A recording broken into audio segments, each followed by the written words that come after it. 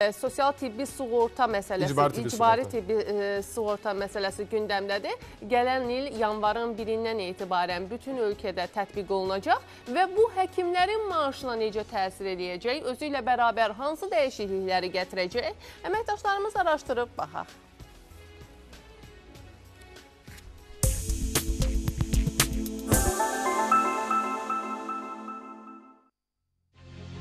İcbari tibbi sığortanın tətbiqi həkimlərin əmək haqlarının artımına da gətirib çıxardacaq. Gələn ilin əvvəlindən tibbi işçiləri bu artımı hiss edəcəklər. İcbari tibbi sığortanın tətbiq edilməsi həkimlərin əmək haqqısının diferensial olaraq hesablanmasına gətirib çıxaracaq. Söhbət ona gedir ki, artıq həkimlərin əmək haqqısı müraciətlərin sayı, eyni zamanda onların göstərdiyi xidmətlərə uyğun olaraq müəyyənləşəcək. Sığorta şirkəti ödənişi xəstəxanaya ödəyəcək, amma təbii ki, həmin ödəniş zamanı hansı həkim tərəfindən xidmətin göstərilməsi müəyyənləşir. Yeni qaydalara görə həkimin maaşı iki hissədən sabit hissə və bonuslardan formalaşacaq. İkinci hissə onun göstərdiyi xidmətdən asılı olaraq az yaxud çox ola bilər. Müraciət çoxalan, yaxşı həkimlərin əmək haqqlarının artmasına gətirib çıxaracaq. Çünki ə, praktik olaraq adətən vətəndaşlar o həkimlərə müraciət edirlər, onlardan razıdırlar və onları yaxşı həkim olaraq qəbul edirlər. Və bu baxımdan ə, icbari tibbi sığortanın tətbiq edilməsi ə, yaxşı həkimlər üçün bir imkandır. Onların əmək haqqlarının artması üçün bir baza formalaşıb. Bu isə hər kəsin ürəyincə deyil. Çünki müraciət sayına görə əmək haqqı formalaşması bəzi həkimlərlə qəbul şöbələri arasında işbirliyinə gətirib çıxara bilər. Buna görə nəzarət güclü olmalıdır. Həmin həkimlər əgər normadan əlavə xəstəyə baxmaq zərurəti yarananda